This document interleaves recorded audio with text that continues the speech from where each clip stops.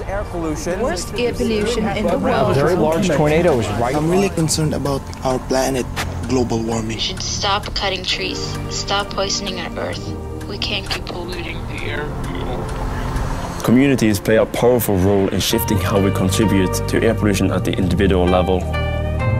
In Paris, they started to ban cars to cope with the air pollution problem. And even where I live, in Oslo, we stationed city benches with moss around the city to absorb pollution from the air.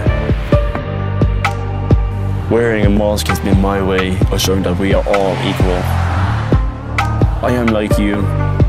We are the same.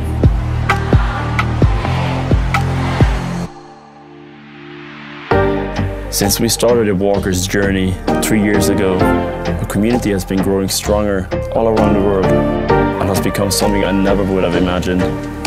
It's time that we do something important together. It's up to us to make the change.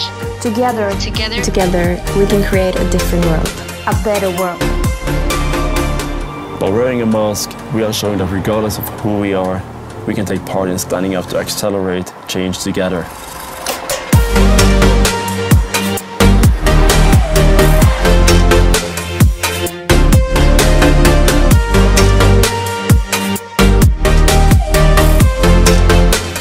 time.